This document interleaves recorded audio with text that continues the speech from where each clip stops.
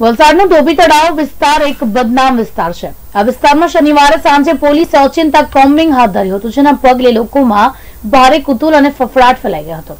ગુનાખોરી ડામવા પોલીસનું આ કોમ્બિંગ મોડી સાંજ સુધી ચાલી રહ્યું હતું.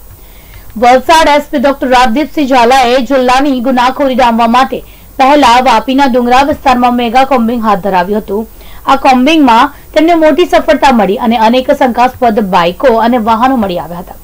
ત્યારબાદ તેમણે વલસાડના બદનામ અને ગુનાખોરીના હબ મનાતા ધોબી તળાવ વિસ્તારમાં કોમ્બિંગ હાથ ધર્યું હતું, જેમાં વલસાડના ડીવાયએસપી એમ એન ચાવડા, સ્થિતિ પીઆઈ એચ ભટ્ટ પાર્ટીના PSI Rajput, Dungri PSI TP Patel, police કર્મીઓ રાજકુમાર, ઉપાધ્યાય, સંદીપ વગેરે જોડાયા હતા.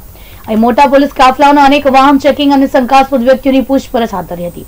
નવરાત્રીની છેલ્લે સાંજે તેમના ચેકિંગને લઈ આજુબાજુના વિસ્તારમાં ભારે ચકચાર મચી ગઈ હતી.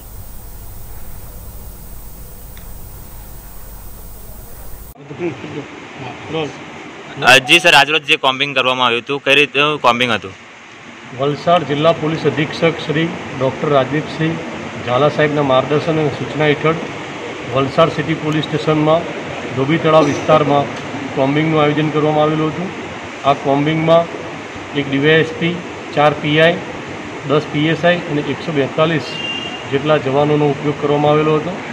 જિલ્લાના દરેક પોલીસ સ્ટેશનમાંથી પોલીસ બોલાવી અને મેઘા કોમ્બિંગ કરવામાં આવેલું હતું, જેનો આશય આવનારી દિવાળી અનુસંધાને કોઈપણ માણસો ચોરી, લૂંટફાટ કરવાવાળા કે બહારથી આવેલા કોઈ માણસો વસવાટ કરતા હોય, તેમજ મોબાઈલ ચોરી થતી હોય, ભાડવાત રહેતા હોય, એ લોકો ઉપર ચેકિંગ થાય અને આવી ગુનાહિત પ્રવૃત્તિ કરનાર માણસો શોધી શકાય તેવા આશયથી આ કોમ્બિંગનું આયોજન કરવામાં આવેલું હતું.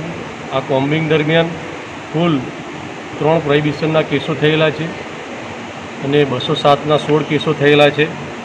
એકસો નવનો એક કેસ થયેલો છે અને બી રોલ પંચોતેર ભરવામાં આવેલા છે અને બિનવારસી વાહન ત્રણ કબજે કરવામાં આવેલા છે અને આ કોમ્બિંગ કરવામાં આવેલું છે. પોલીસ અધિક્ષક શ્રીની સૂચના અનુસાર આ કોમ્બિંગનું આયોજન વારંવાર થતું રહેશે. જુદી જુદી પોલીસ સ્ટેશનમાં જુદા જુદા જગ્યા ઉપર અને આમાં બિનવારસી અને જે ચોરી લૂંટફાટમાં જે આરોપી સંડોવાયેલા આવે તેનું પણ ચેકિંગ કરવામાં આવશે. કોઈ વાહનો હશે તો પણ એનું શોધી કાઢવામાં આવશે. સર આ કોમ્બિંગમાં કોઈ કેટલા વ્યક્તિઓને અટક કરવામાં આવી છે? કુલ એક આરોપી શકમંદ હાલતમાં મળી આવતા તેને અટક કરવામાં આવેલો છે. જે ચોરીની શક્યતાવાળો ઈસમ હોય તેના વિરુદ્ધમાં એકસો નવ કરવામાં આવનાર છે.